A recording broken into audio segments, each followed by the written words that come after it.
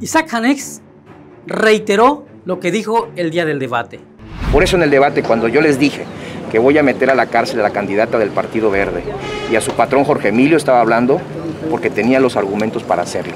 No estaban simplemente diciendo algo mediático. Aquí están los documentos, parte de ellos, para darle seguimiento a lo que dijimos. El regidor con licencia y candidato de Fuerza por México lo calificó como la grosería más grande del mundo.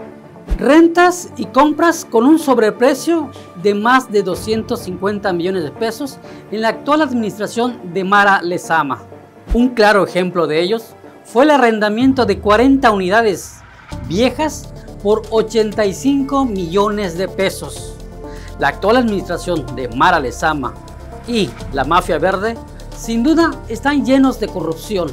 Tenemos ya contratos en donde suman una cantidad de 350 millones de pesos en rentas, en compras que traen un sobreprecio de más de 250 millones de pesos.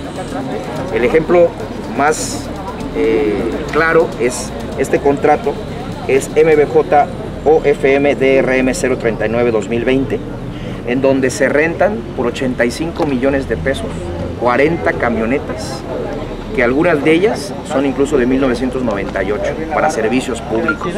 Eso significa que nosotros pagamos por rentar 40 camionetas viejas 85 millones de pesos. Si quisiéramos haberlas comprado, nos hubiéramos gastado de 25 a 30 millones de pesos máximo nos hubiésemos ahorrado 55 millones de pesos y además parte de nuestro patrimonio ya serían esas 40 camionetas.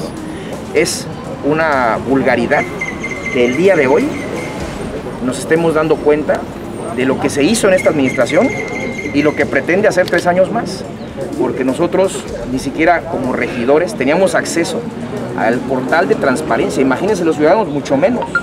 Lo que se estuvo cocinando durante estos tres años fueron actos de corrupción, de robo y de traición. Y creo que no nos merecemos tres años más de esto. Una denuncia que realizó el regidor con licencia, que en su momento no tuvo acceso a este tipo de contratos. Sin duda alguna, el ayuntamiento de Benito Juárez, presidido por Mara Lezama, y la mafia verde está lleno de corrupción y simulación y todavía quieren reelegirse. La denuncia está en camino al tiempo. Soy Sergio Masté, director de Grupo Contrapunto.